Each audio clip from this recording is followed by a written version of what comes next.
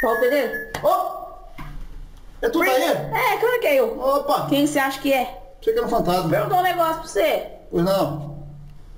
Por que que tu deixou essa folga aqui? Ó, por que que tu não encosta essa placa aqui rente ao batente pra ficar mais bonito?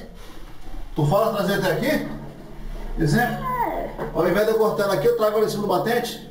É, Pra também. esconder, pra esconder isso aqui? É, vai esconder o batente ou, ou encostar a placa rente ao batente. Hum, tá certo. Boa pergunta, hein? Será que eu tenho condição de responder? Sei Hã? lá. Bom, meus amigos, essa é a minha esposa, Thaís Magalhães, ela acabou de fazer uma pergunta pra mim, eu falei, vai dar um vídeo. Vai dar um vídeo, nós vamos botar no canal, um diz o outro. Começou a chover. Graças a Deus. Meus amigos, boa pergunta, falando sério. Aqui houve o quê? Houve uma um pequeno deslize, né, do Paulo Pedreiro, na hora de pedir o batente. Eu pedi os três batentes com 16, né? Eu tenho uns vídeos no canal aí falando sobre isso aí. Só que eu esqueci do banheiro. Como ia o investimento, era para eu ter pedido o quê? Aqui eu tenho 2 centímetros a mais. Eu poderia ter pedido com o quê? Com 17. E ela fez uma pergunta bastante coerente. Por que, que eu não trago esse revestimento até aqui? Boa pergunta. Primeiro, o que acontece? Aqui vai entrar uma guarnição, um acabamento. Segundo, ah Paulo, mas eu não vou pôr guarnição.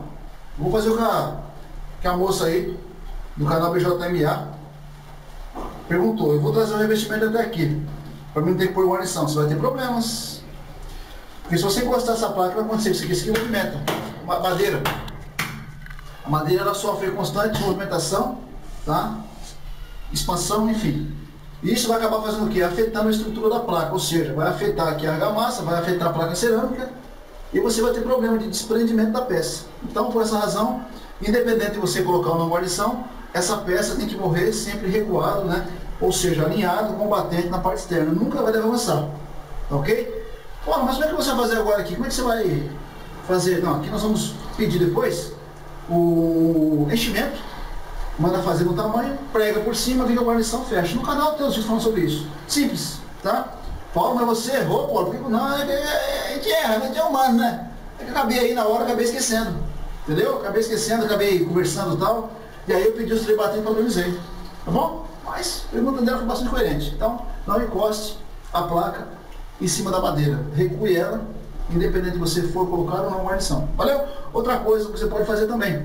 Você pode recuar, caso você não venha para guarnição, você recua e faz o acabamentinho aqui, ó, o recuado, o recuado tá?